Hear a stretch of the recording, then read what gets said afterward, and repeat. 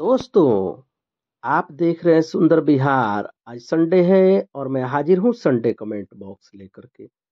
मछली के शिकार से जुड़ा हुआ कोई भी सवाल है, जो सुंदर बिहार चैनल के ऊपर कमेंट में आता है, हम कोशिश करते हैं उसी दिन जवाब देने के लिए। अगर कोई सवाल ऐसा है जिसको समझाने के लिए समय चाहिए तो उसको हम कमेंट बॉक्स में शामिल करते हैं ताकि हमारे व्यूवर को अच्छा से समझ में आ सके।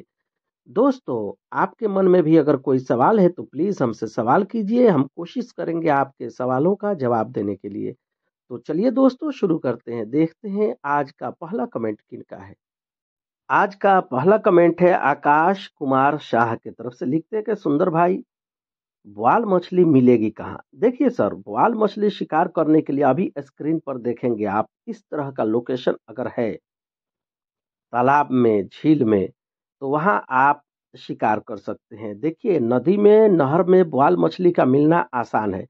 अगर तालाब है, झील है तो वहाँ आपको लोकेशन देखना पड़ेगा। ऐसे लोकेशन देखिए, जहाँ पर किनारे की तरफ़ थोड़ा गहराई हो और घास लटका हुआ हो पानी में, क्योंकि बुआल मछली पानी के गहराई में रहती है, लेकिन शिकार करने के लिए वो किनारे आती है। तो जब भी आपको बुआल मछली का शिकार करना हो, कोई भी आपने जो चारा लगाया हो, पानी के टॉप लेवल पर रखिए। लेकिन अगर आपने ज़िंदा मछली लगाया है, खास तौर से कॉमन कार्प मछली हो गई या मिर्गल मछली हो गई तो इन मछलियों को आप टॉप लेवल पर रखिए। ज़िंदा मछली है तब।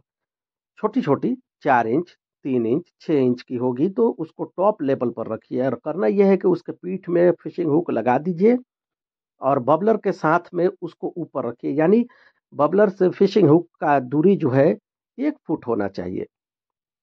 तो पानी का टॉप लेवल पर यह मछली चलती रहेगी बुआल मछली नीचे रहेगी, वो तुरंत इस पर अटैक करेगी और आसानी से शिकार हो जाएगा। जब भी शिकार करे, किनारे की तरफ़ आपको बिल्कुल शांति से शिकार करना पड़ेगा। वहाँ शोर शराबा या घास पतवार में आप चलेंगे, पानी में उसका धमक मिलेगा मछली को तो वो तुरंत वहाँ से भाग जाएगी। इसलिए शांति से शिकार करिए। ध्यान ये ये भी रखना है कि पानी के जीना, ज़्यादा किनारे जो एज है, वहाँ पर आप नहीं जाइए, नहीं तो पैर फिसलने का डर रहेगा, इसका ध्यान करके शिकार कीजिए। ओके दोस्तों, वीडियो काफ़ी लंबा हो रहा है, सुंदर बिहार देखने के लिए धन्यवाद, थैंक यू, शुक्रिया।